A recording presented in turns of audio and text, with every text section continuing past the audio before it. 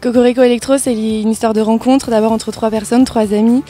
Euh, c'est aussi l'histoire d'une rencontre entre un lieu historique, un, cadre exceptionnel et, euh, la modernité, par le, fait d'organiser un festival à la française avec uniquement des DJ français euh, de renommée internationale.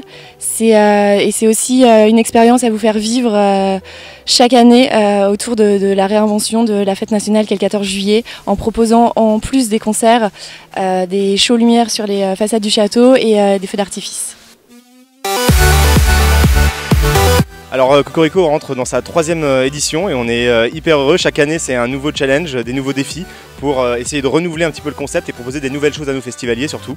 Donc cette année il y a une belle grappe de nouveautés. Euh, on peut citer un peu pêle-mêle le perchoir pour euh, les Very Important Coco qui vont avoir accès du coup à une terrasse de 260 mètres carrés perchée à 4 mètres 50 du sol pour avoir une vue imprenable sur le château. On peut également parler de la nouveauté majeure d'ailleurs c'est effectivement les deux jours. Donc on a vendredi et samedi soir, donc deux belles soirées électro avec deux belles programmations. On va également avoir deux feux d'artifice, un feu d'artifice par soir, le vendredi et le samedi.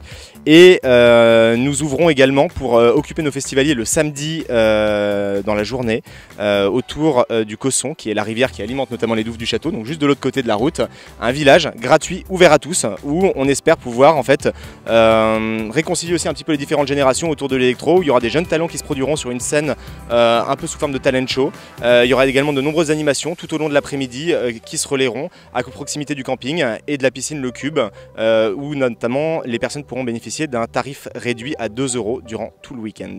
Le fait de passer sur deux jours nous permet également aussi d'investir, et notamment sur les solutions qu'on dit cashless, qui permettaient de réduire euh, l'attente euh, et d'éviter en fait que les festivaliers se baladent en permanence avec leur portefeuille. Donc là en fait tout simplement avec l'aide d'une carte, ils vont pouvoir consommer sur l'ensemble du site du festival, que ce soit la nourriture ou les boissons, et ainsi être libérés de tous les tracas, de perdre ses papiers, sa carte d'identité, etc.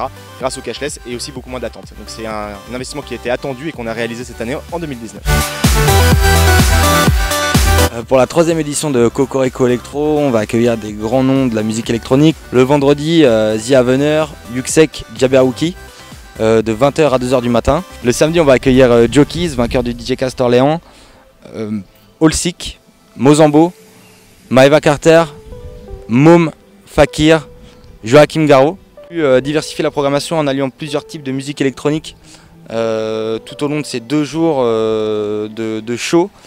des lives sont attendus avec de la pyrotechnie sur scène, des, effets spéciaux, des scénographies assez conséquentes. On est, très content d'accueillir ces artistes au château de la Ferté-Saint-Aubin, qui est quand même un lieu extraordinaire.